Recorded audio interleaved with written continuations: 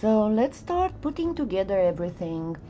I am going to use the ends of a cane that I had laying around. You can use pretty much anything, even a piece of regular clay in a color that would match the other ones or would be very slightly uh, different. If you see here, I'm using a bluestone and an ecru and only the bluestone is a little bit different but it still matches uh, the hues that are barely noticeable in that uh, mica and acrylic effect that I used. So uh, on a very thin thinnest sheet a thinnest setting sheet of um, scrap polymer clay I placed a line and then uh, I cut my uh, piece of uh, special effects mica powders and acrylic paints in two. And then I am uh, cutting the shape a preliminary shape. And then I will place it on both sides of the line that I created with slices of uh, cane and make sure that at this point you do not um, trap any air bubbles. And then of course uh, even it out flatten it and then cut the final shape of your uh, focal bead. I initially had designed this to be just a pendant but then I said why not go ahead and uh, show you a full uh, wearable art uh, project when you create beads uh, that would match the pendant I'm going to uh, bake on a um, domed base. It's not very domed so I will only have a little bit of a, a 3D um, effect. Then uh, I take that sheet of combined uh, mokume gane and I will um, wrap it around a sausage of scrap clay that I will use as a frame pretty much something kind of like between a bezel and the, and the frame if you want around the uh, focal uh, piece. And uh, of course I measured first to make sure that my uh, little sausage cylinder is about the size of the side of the pendant and I will do the same for the top. And then uh, make sure that you blend well the seam. Roll it a little bit so it would be well blended and then cut it in two lengthwise.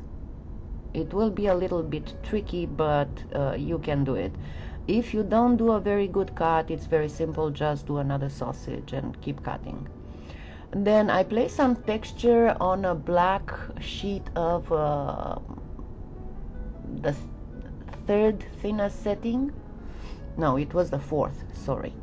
And then I am cutting it about uh, a third of an inch from the edge for now. This is the preliminary trim and then I place it on the I lift it on the edges of the focal pendant. Then the back that's on top I am going to flatten it to eliminate the texture because that is where I'm going to place my bail and I'll also place on the bail another piece of the uh, mokume gane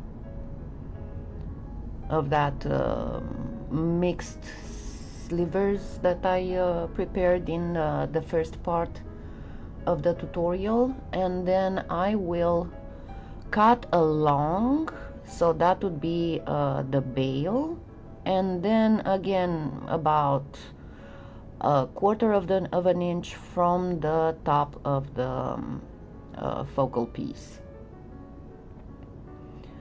and be very careful when you cut there because that's going to be um, very visible. Then once I do that I place a little bit of Bake and Bond around the along the edges of the focal piece. And then I flatten the um, uh, backing bring it up and flatten it against the edges Then I will be placing a piece of copper tubing and I will place a link both in the description and in the cards uh, on my little tips and tricks tutorial showing you how you can get one of those uh, uh, copper tubing uh, to make bails out of it. And then I am doing the fine trimming on that edge that I have created by bringing the backing um, up on the edges of the piece. Uh, and here be very very careful and do a very nice and neat trimming. After which I am flattening with my paintbrush the edge to eliminate the texture and make a nice and uh, smooth edge. And now it's time to place the bail I'm first measuring to make sure that it won't cover too much of the front uh, focal piece and yeah, it helps when you remove the lid before trying to squeeze anything out of a bottle. Generally speaking, most of the time. And then I am placing the uh, piece of copper tubing. And it's good that they are already curved because they are in a coil. So you don't have to worry much about uh, shaping it. And after I'm placing it, I'm going to um, carve the edges so they would be uh, nicely looking not uh, squarish and uh, you know um, looking unkempt. Because even if the piece is of a very unorthodox shape uh, it still has to look pretty and uh, now I'm ready to place that frame bezel however you want to call it. I'm going to cut in a diagonal uh, so I can um, blend them seamlessly at the bottom and at the corners. And I am placing some Bake and Bond on the edge. Uh, you can place uh, liquid clay of course uh, just make sure that you don't uh, bring too much inside because you don't want to cover the um, acrylic paint with that uh, you can use a paintbrush if you're not very sure about your fingers working very well for this. And then I'm placing that uh, half a wrapped sausage and cutting again in a diagonal at the corners. And then I will be placing also the top parts in the same way. And then just check to make sure that it is well uh, aligned with the edge and well blended at the corner seams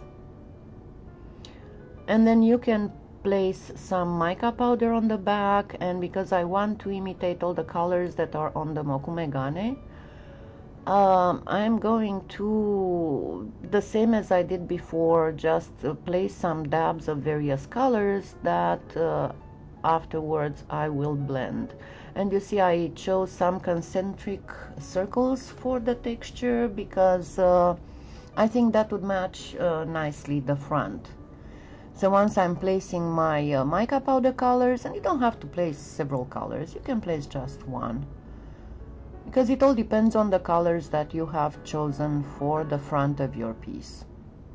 And then I'm using the paintbrush to just uh, blend everything. Then I'm taking another piece of black clay uh, on the thinner setting and I'm just using whatever is left on the paintbrush from the mica powders and I'm going to cut two exceptionally thin uh, strips uh, actually thinner than one millimeter that um, I'm not really going to use anything on because I'm going to apply a, a, liquid clay on the front so that will seal them in place. So all I need to do is to just place them properly and make sure that they are um, well attached for the baking because they will not fall once I place uh, once I uh, apply the liquid uh, Kato polyclay. so make sure that you uh, place it properly and then uh, you're pretty much ready for the second bake Now, the idea on this is that I wanted to use some uh, colors and effects that would be between uh, metallic and brocade. So uh, for creating some beads, I'm going to take another piece of scrap clay on the thickest setting and I'm using um, Royal Ruby, uh, Espresso and Emperor's Gold, all three metallics and you see I'm first dabbing some on the piece of clay and then I will just place them all over. This is called marbling with acrylic. I'm just uh, making sure that I have these colors all over the place.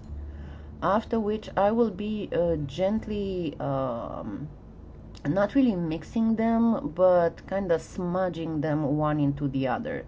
So it would create a marbling effect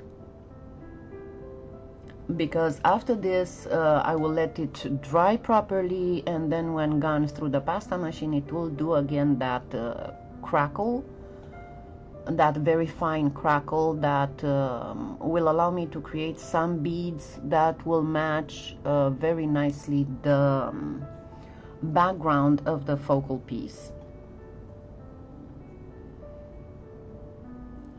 Now you will have at this point you will have in some spots too much acrylic paint and uh, you can uh, dab it with a little bit of water to make sure that you have a good coverage of the clay. And it also it's very important what you choose as a background.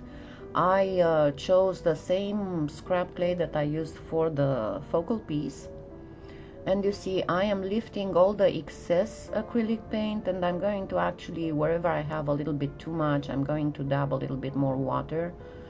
Uh, also if I lifted and uncovered the clay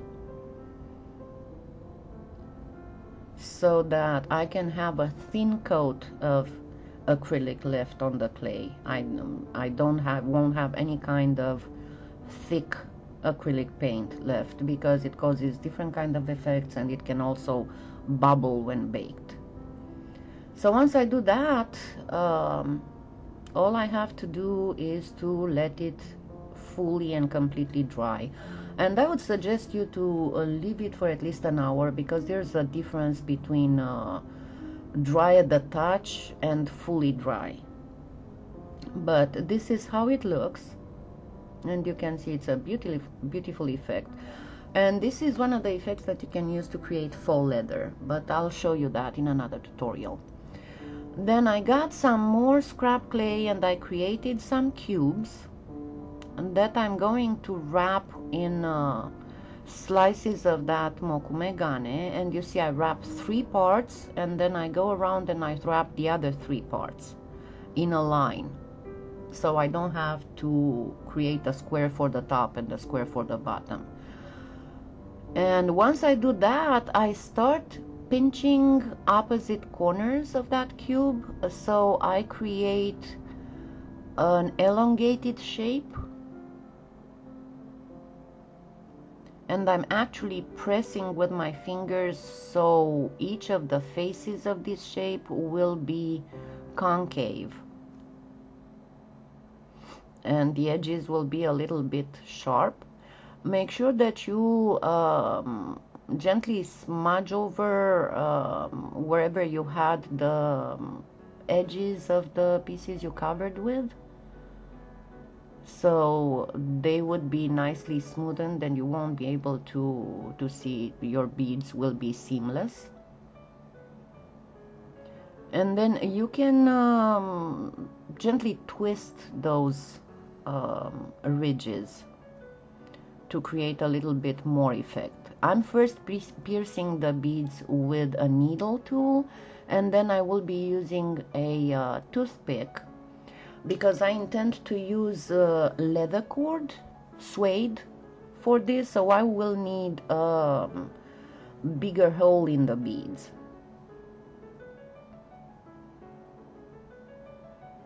And once you've placed your um, toothpick gently um, redo the edges because your bead might get a little bit more distorted. Then out of uh, scrap clay I'm creating again um, rectangular shape that I'm cutting in two. So I would have two flat rectangular beads that I am wrapping in that marbled clay ran through the thinnest setting.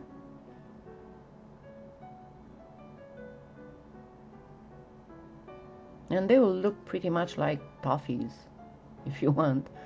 But this is the look that uh, the beads should have. And then I will be using the um, handle of my paintbrush to, again for the for blending the seams in this case the seams will not blend that uh, perfectly but it's fine because it's a, a look that you want to achieve. And once I do that I will be uh, piercing holes with the toothpick. Always go on one side then turn the bead around and go on the other side until the holes meet in the middle so you don't go haywire and come out on a wrong spot on the other side of the bead. And then once I'm sure that my uh, bead hole is right I'm going to twist these beads. And I'm going to twist them in different directions so they would be symmetrical when placed on the necklace after which I have to bake them. Now I have everything baked. You see I placed some uh, liquid polyclay not on the strip in the middle. The beads are also uh, with liquid uh, Kato polyclay. Then um, I am going to use the suede leather cord, some uh, wooden beads. And these are some beads that I had created before with the, using the cane that I placed in the middle. A toggle.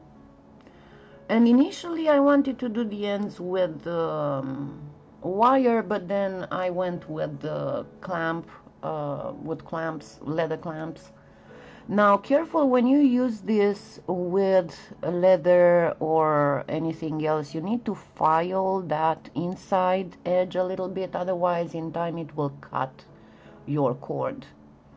It's fine if you use chain, but if you use anything that can be cut by a sharp edge, make sure that you file the inner edge of that bail. So now all I do is to uh, string my beads in the order that I had envisioned.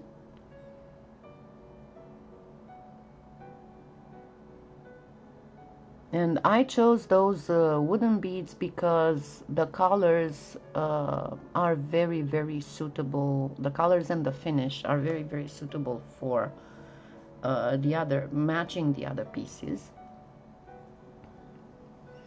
And the general effect was something that uh, again I said I wanted to be between metallic and uh, brocade but look at the same time a little bit tri tribal but still very modern so I'm placing some Loctite glue on the uh, suede cord and then I'm placing the clamp bead, the clamp, the clamp, not the clamp bead. And uh, I will be uh, pressing it flat with the pliers. So the suede will be very secure. And place the glue on the back of the clamp not on the front because if you put it on the front you'll get a lot of glue on your pliers. After which I am attaching the I cut the excess uh, leather and I'm attaching the toggle clasp uh, to the clamp with a double jump ring. Because it's a relatively heavy necklace so I don't want to trust a simple jump ring and there we go. Here's my wearable art piece.